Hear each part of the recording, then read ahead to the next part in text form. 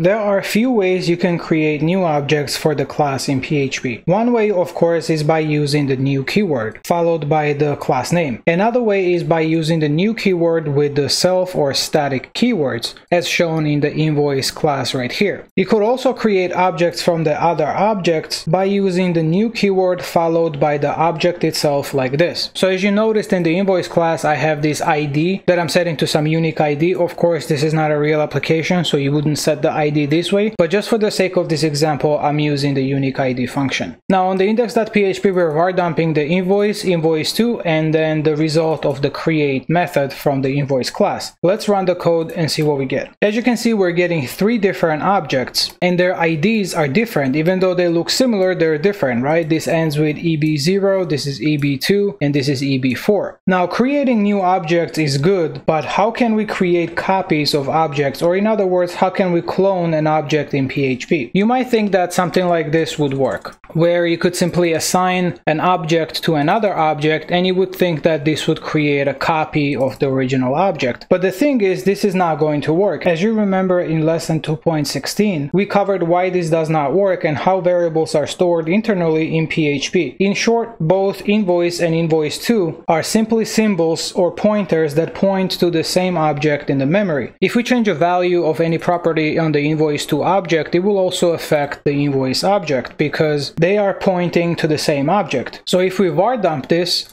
and we also var dump the comparison between invoice and invoice2 using the identity operator, which is triple equal sign, and run the code, we see that they're indeed the same objects. And the identity operator results in true, and we also see that the IDs of the invoices are exactly same. To actually create the clone or a copy of the object, we need to use the clone keyword. So we would add the clone keyword right before the invoice here. And now if we run the code, we see that now invoice2 is the different object. And we see that the identity operator comparison returns false. However, the IDs are the same. Now, just because IDs are the same does not mean these two objects are the same. The objects are actually different, meaning that invoice and invoice2 variables are actually pointing to the two different objects in the memory. The properties are the same because clone shallow copies all the properties from the invoice object, and therefore it copied the ID property with its value. So that's why they have the same value, but they're actually two different objects objects. And we confirm that by using the identity operator comparison. Now, this might not be ideal when you're cloning an object. Maybe you want to assign a different ID number when you're creating a new object by cloning the original object, right? The good news is that PHP has a magic method called underscore underscore clone, which gets called whenever an object is cloned. So you can hook into that magic method and perform any cleanup or anything that you need to do after the object has been cloned. So if we switch over to the invoice class, class here. Let's get rid of this create method. And here we can add underscore underscore clone